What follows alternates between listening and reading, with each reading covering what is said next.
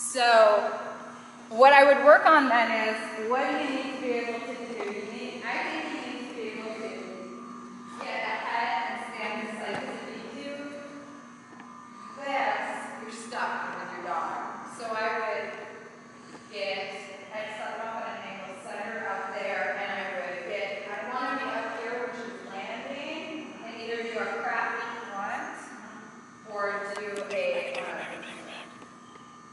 um, you do a blind, and then I'm just gonna run hard and hope to a place where I get these, right?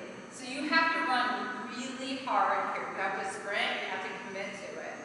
Um, what you can do to train yourself to stay connected and run really hard is have something that you're gonna throw, like a big chunk of food or something, or just a cookie, right?